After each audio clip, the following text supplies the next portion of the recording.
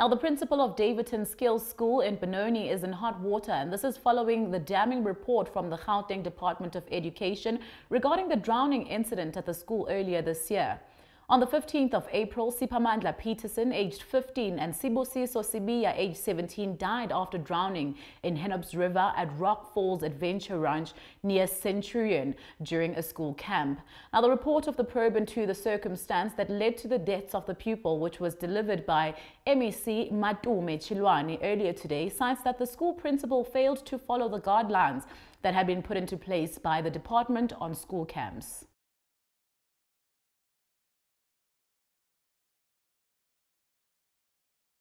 Alaziwa ikusasa likathishanhloko wesikole iDaveyton Skills School endaweni yaseBinoni kulandela umbiko ovela kumnyango wezemfundo esifundazweni saseGoli noveze ukuthi lo thishanhloko akalandelanga imigudu efanele uma kuzoba nohambo lwabafundi.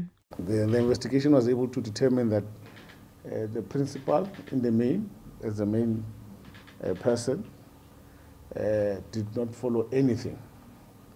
Uh, literally, she, it was unilateral decisions from start to finish.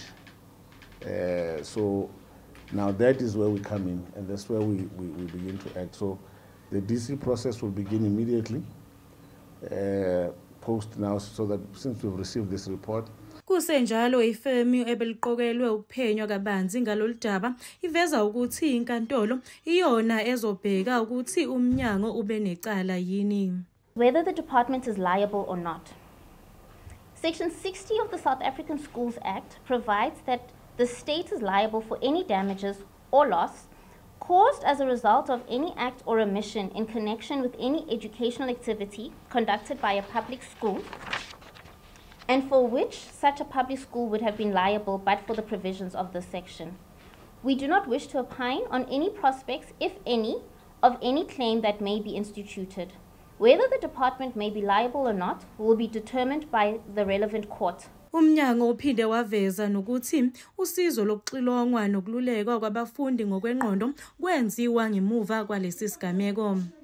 Abafundi abashona kulesi sigameko baneminyaka eyishumi nantathu kanye neshumi nesithupha.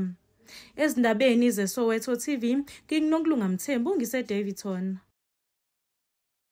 Now, staying with the story, the non-profit organization Rising Stars Generation, which was facilitating the fatal camp at the Daveyton Skills School, might find itself in the firing line, and this is due to identified poor cooperation during the investigation. Chiloane says such organizations should be frowned upon.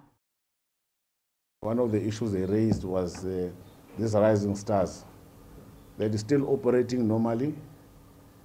Uh, schools are some schools I do I'll check, but some schools are taking learners there. Uh, and, and, and, and this is what I want to say to mainly to, to schools that if there's an incident in an in a particular camp, you know, ideally logically should tell you that that that area you shouldn't. There's a problem. But uh, they say the camp is operating. I'm not assuming. I'm not saying schools that are there. It can be anything. Can be private excursions of uh, different uh, groupings, but still operating normally. So we we will do the we will act on the recommendation that we are going to write to the social development to to really consider revoking uh, because they, they didn't comply, they didn't assist us in the report, in the investigation, honestly. There was just hostility from start to finish. Uh, starting from the training of the the, the dam, the, the owner refused. When they wanted to visit, to, to, when they wanted questions, to go and ask questions to the owner, the owner brought a lawyer and said, write everything to us. And some of the questions have still not been responded to uh, by them, by the lawyers. So clearly just hostility from, and that's arrogance, to put it uh, uh, mildly, arrogance from, from these individuals. And we should really shun against such, such areas, such uh, such uh, facilities